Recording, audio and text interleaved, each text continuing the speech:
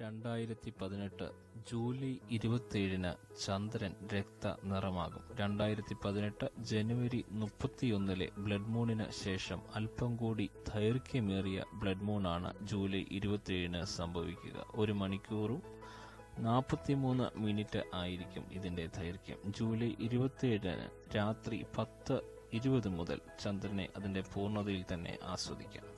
Europe Africa Asia Australia New Zealand എന്നിവിടങ്ങളിലായിരിക്കും ആദ്യം കാണുക.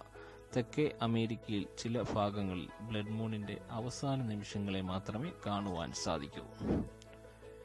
ജൂലൈയിൽ സൂര്യനും ഭൂമിക്കും ഇടയിൽ ചന്ദ്രൻ മറയുന്നത് കൊണ്ടാണ് ഇത്തരം ഒരു പ്രതിഭാസം സംഭവിക്കുന്നത്.